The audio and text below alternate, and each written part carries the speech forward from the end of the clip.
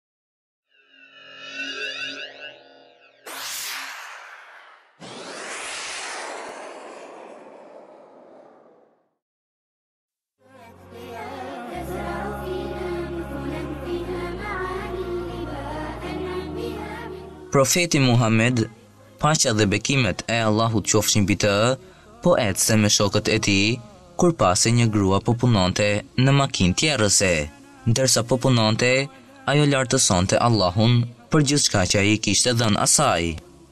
Profeti Muhamed, paqja dhe bekimet e Allahut qofshin mbi të, e përshëndeti dhe e pyeti, Besimi yt është për t'u admiruar, A më tregon se çfarë të bëri të besosh te Zoti? Gruaja u përgjegj, O i Dërguari i Allahut! Nëse unë nuk e lëviz makinën tjerrëse, ajo nuk mund të punojë vetë. Nëse një gjë kaq e thjeshtë si kjo makinë nuk mund të lëvizë vetë, pa ndihmë, si është e mundur që kjo gjithësi të punojë në mënyrë kaq të përsosur, pa pasur dikë që ta drejtojë atë?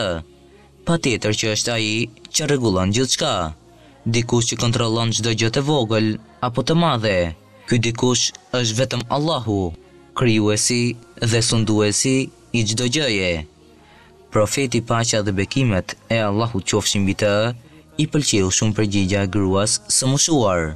U kthye nga shokët dhe i tha, E shihni si e ka njohur Zotin kjo grua me një mënyrë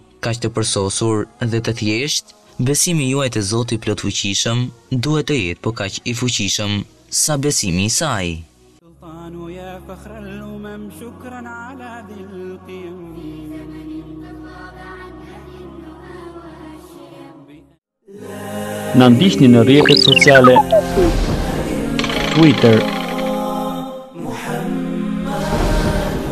Facebook